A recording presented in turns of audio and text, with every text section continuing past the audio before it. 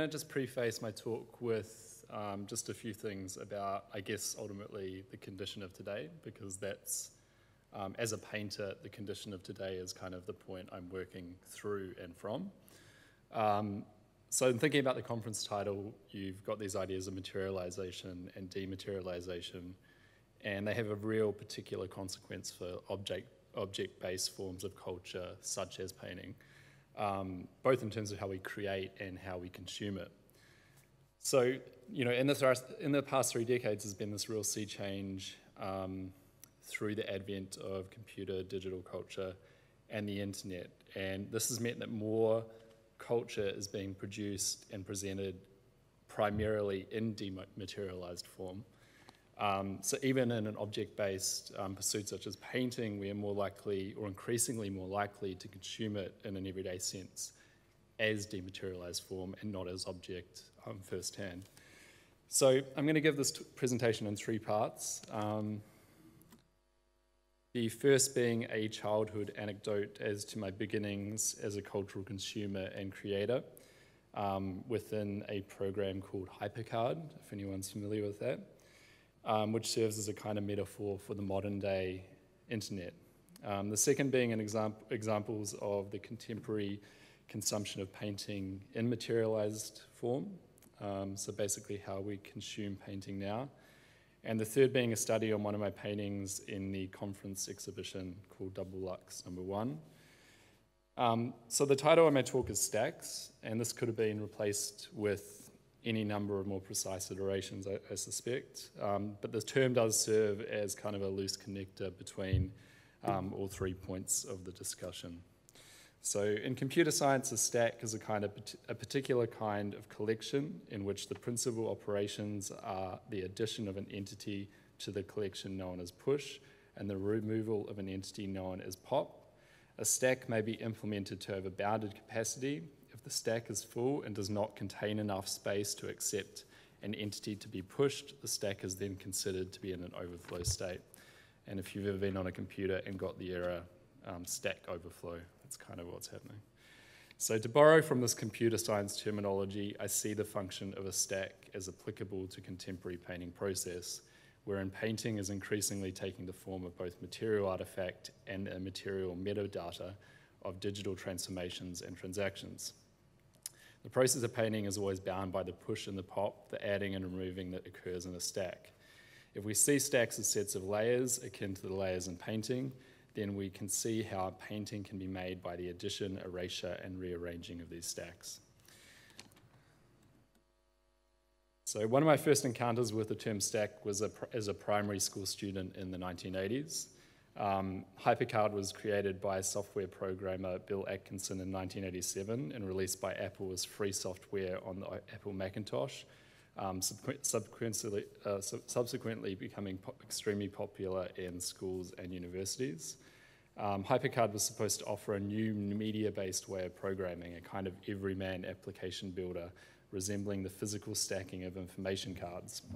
My own use of HyperCard uh, in the late, late 1980s represented an early experience of media that was similar to how we now use the modern day internet. HyperCard was based on the idea of creating stacks. Each stack could contain a variety of textual, audiovisual, and graphical element. Navigation elements, elements could be added and used as a standard graphical interface. Users could interface through the stacks with scrolling windows and hyperlinks that jump to content that was contained in another, in another, in another stack. The look of the various kind of stacks created in HyperCard varied greatly due to its varied uses as gaming system, educational tool, or as a more esoteric tool of creation. Um, as Terry Winograd surmises, it is impossible to show a typical HyperCard screen since HyperCard's facilities to draw artwork onto cards have been used to produce every look imaginable. Interestingly, we could say the same about different implementations of historical and contemporary website creation, which seem infinitely varied, albeit trapped within certain protocols. Uh, visually, HyperCard allowed users to think in a non-linear way about the construction of text and media. My own experience of HyperCard was in hours spent playing the, the HyperCard authored game Where in the World is Carmen Sandiego, as well as creating my own stacks, incorporating default images and sounds from Apple with my own text and graphical elements. Technically, these were conventional stack files, but one could also view them as experiments in drawing and hypermedia. Indeed, these were creative precedents in the use of HyperCard for artistic purpose, predominantly in the form of hypertext poetry by writers such as William Dickey. Uh, HyperCard was an early example of a tool used for both the creation and consumption of hypertext and hypermedia. So these are just some images of what it looked like. Um, so jumping forth into the present, the contemporary internet distills visual information into a certain set of parameters. Those parameters are linked to the technological confines of the internet and those devices that we use to navigate its contents. A painting on the internet is compressed by necessity, rasterized as a digital file, and more often than not presented as a 72 DPI JPEG or PNG file. Through this means of presentation, lost is the initial scale of the work and any concept of surface or materiality. These properties can only be assumed or imagined. The ability to zoom further into the image serves to provide more detail only when the original content is at a high enough quality. More often than not, the input of Control Plus or similar zoom function will result in a digital of blurry pixelation. The surface and physicality of the original painting long lost in translation. Uh, social sharing, sharing, sites such as Tumblr, Twitter, Instagram, Facebook, and the art-specific ArtStack all allow fast and global uh, ways of communicating images. Paintings are shared as visual soundbites, appearing on the feeds of users connected through these social networks. As an article on Time magazine online describes, users can drag an add to stack button on the top of their browsers so that they can add photos while surfing the web or to snap pictures while gallery hopping, ArtStack allows users to organize stacked art into collections. In addition, sites such as Contemporary Art Daily operate in a predominantly visual context, graduating from a blog and taking the place of the physical art, art magazine, but without much of the associated written content, like an ad-only version of Artforum, although this may in itself sound like a bit of a paradox. Contemporary Art Daily thus acts as a key site for sharing through social feeds, supplying a frequently updated and curated collection of art of the moment.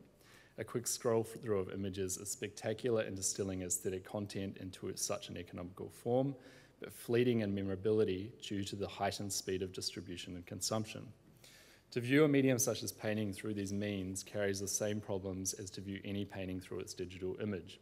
Material, materiality is expunged and aesthetic is enhanced.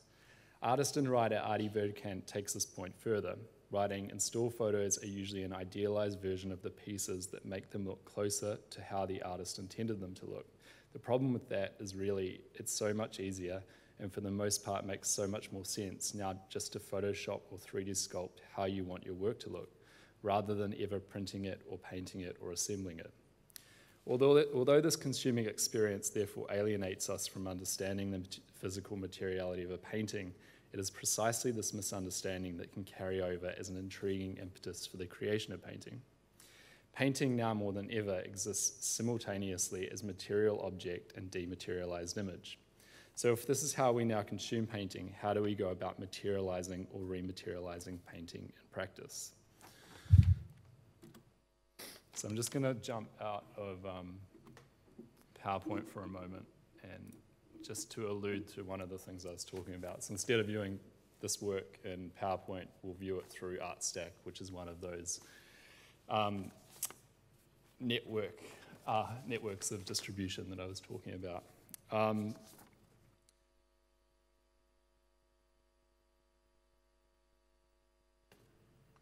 so this painting is double lux number one. Uh, I begin with a Google search, collecting images that appear in relation to a series of keywords 3D texture, generated texture, silver, gold, rock, sand, silk, and metal.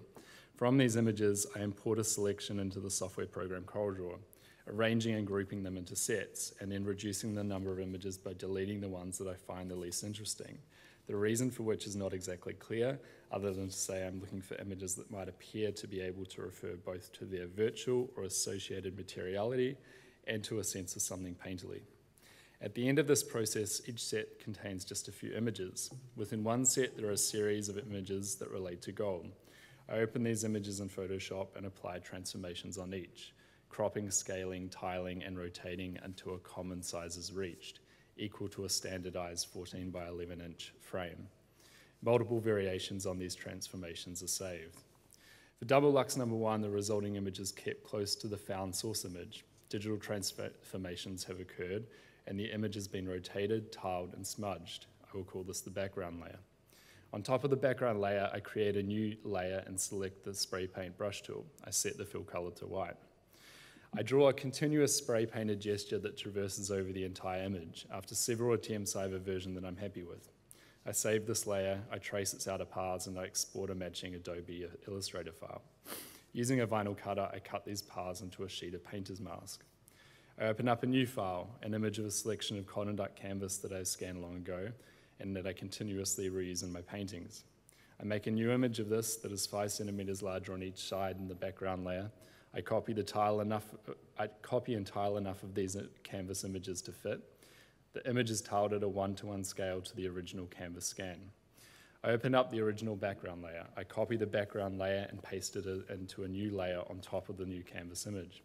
I flatten the image and save it as a TIFF file at a resolution of 350 dpi. I send this to the printer and I collect a high quality printed version on canvas substrate.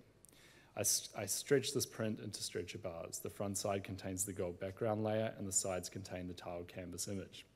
I take the stretched canvas to a spray booth and I buy, apply a clear layer of acrylic polymer.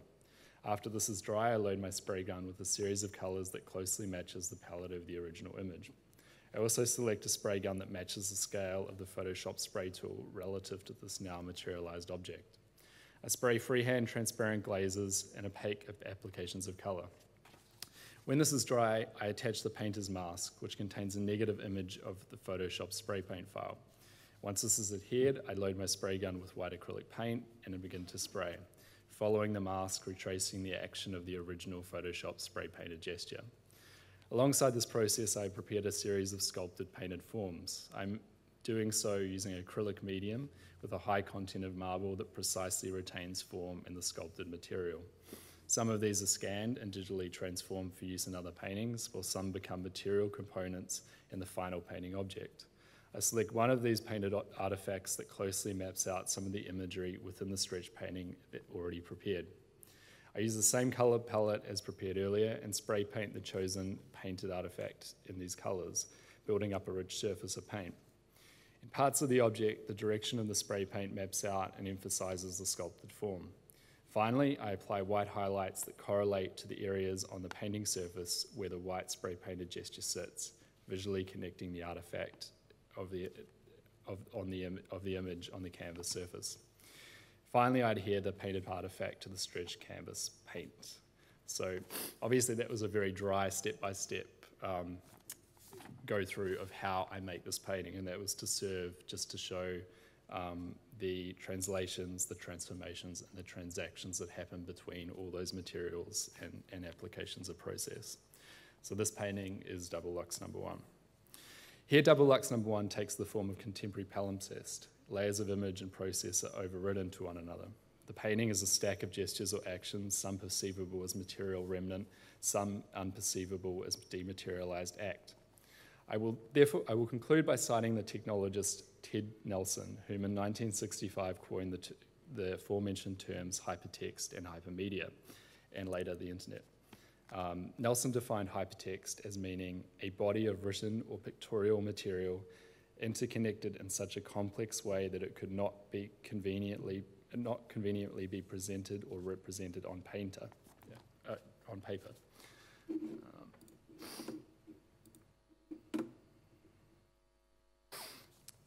to be a painter now is to work in the opposite direction. To paint is to attempt to rematerialize the world at hand back into a painting object.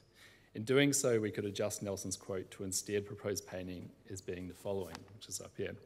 Painting is a body of painted material and image interconnected in such a complex way that it could not conveniently be presented or represented through hypermedia. Thank you.